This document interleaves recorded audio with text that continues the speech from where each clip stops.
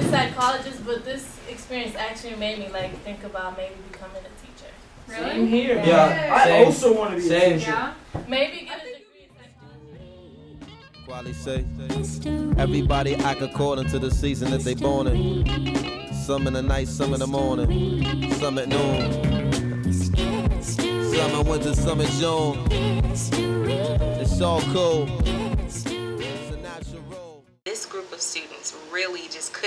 To volunteer to have an opportunity to work with younger children.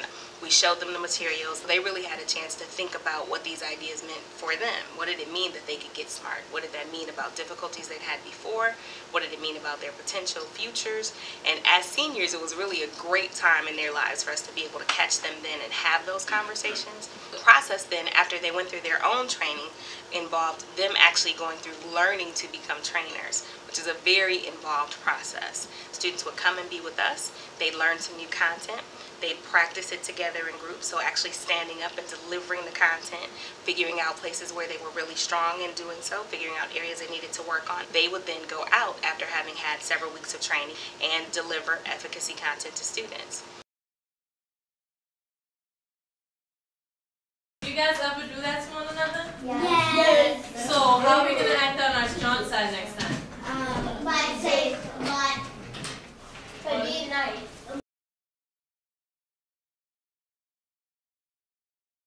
Why is feedback important? Why do I need to listen to feedback? Because if you don't, don't listen to your best work. Raise your hand. That's a good answer.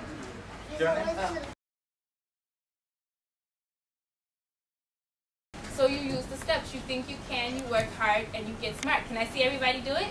Think you can, work hard, get smart. Very good. Okay.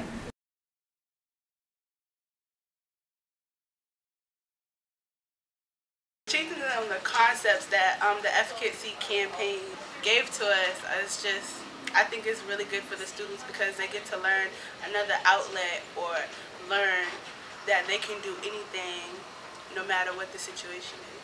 I think they really like efficacy. They don't, we don't really call it efficacy. They always say, oh yeah, work hard, Yep.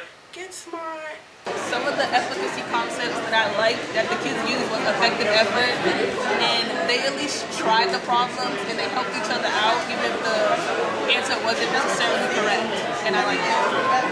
And um, they also use the things that we taught them, like when, for example, we would ask them, is that usually a strong side or your weak side? And they would turn it around and use it with each other and ask each other, you know, so they started to apply the stuff we, we taught them. There was this boy Johnny, and he had a karate competition, and he was really nervous. He didn't want to go, and then um, he was telling everyone how he just wants to stay at home and not go to his karate competition. And then one of the kids was like, "Remember what Rawa and Victor taught us?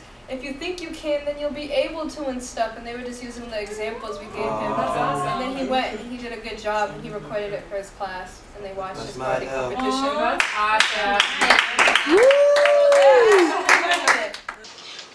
found in talking with principals about the effect is they also really felt like this was creating a change. They could see in classrooms where students were getting efficacy that there was a shift in the culture, that students were trying harder, that they were supporting each other more, that they were really ready to work, and when they didn't get it the first time, they weren't upset and frustrated and falling over which is what we've learned to do in our culture around failure.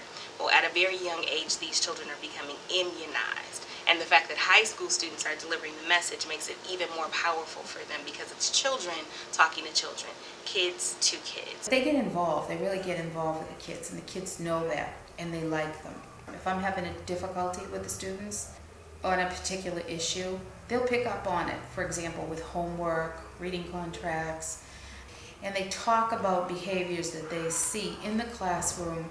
So they're applying what they're teaching to real world things, to the things that are happening with the students. And that's helpful. It's like That's they cool. really know the meaning of being confident. Yeah, because we always ask them at the end, like exactly what did they get out of it? What did they learn? Like we don't leave without asking them what they learned that day.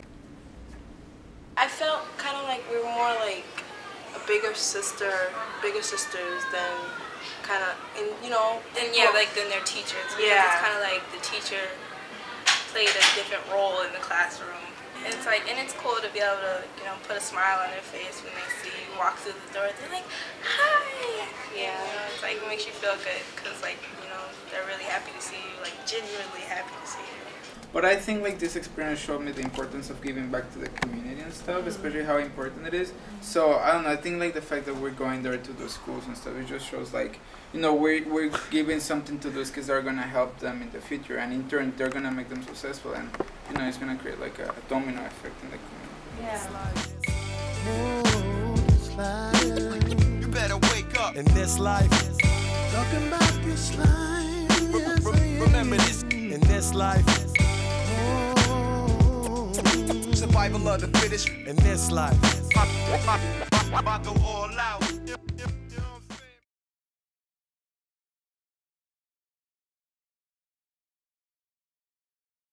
not only um, do the ideas that we teach the kids help them, but we also learn from them too, especially being in our senior year in high school.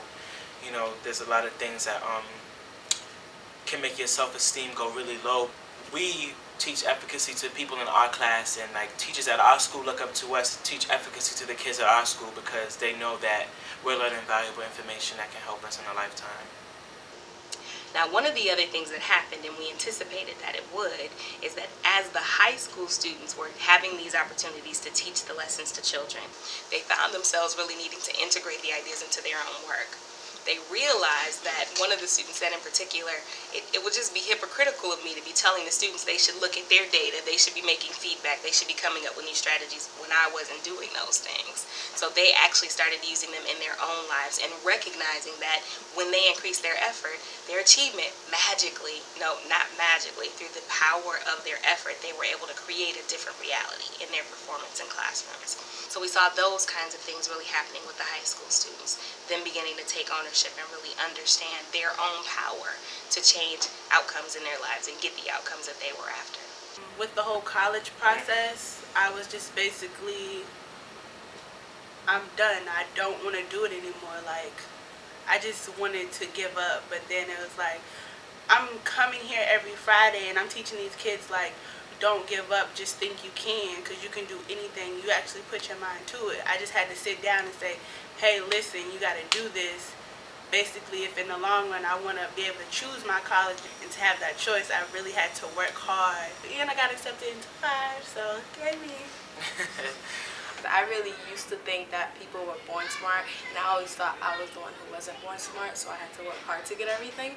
And then when it came to the kids, a lot of times I would see them give up, and I would always find myself using the terms like, come on, you have to think you can, or come on, use your strong side. So I find myself using the terms with the kids and also using it in my own like personal school stuff in high school, we're seeing, I still see people getting a test back or grade back, and they just pushing it away or they get mad at themselves for not doing it, and they say they're stupid and all that. And they're 18 years old. In efficacy, you can't tell the kids, though, you're not born smart. You, you work hard to get smart. Everybody's smart, but you gotta work hard to get smart. And then not follow it, not follow what you're saying to the kids.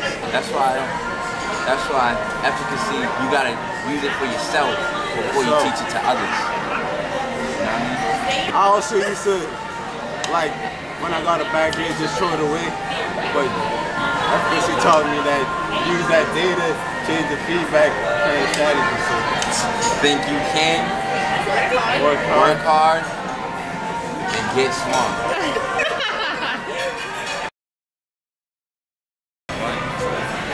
think you can, work hard, get smart. Yeah, we out.